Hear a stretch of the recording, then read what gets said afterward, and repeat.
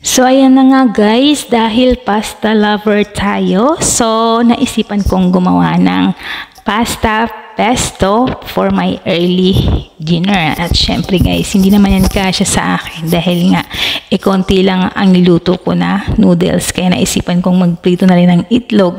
At syempre, hindi naman kompleto ang ating itlog pa walang sausage. Ow, charot, sana all. So ayan na nga at inayos ko na yung aking kakainin sa isang plato lang guys. Ayan, sama-sama na siya dyan to the max. Para feeling na sa restaurant pa rin ako. Oh, diva. So, ayan.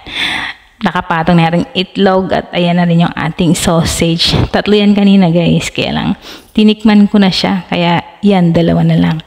At ayan at lumafang na nga tayo ng bonggang-bongga at talaga namang gutom na gutom.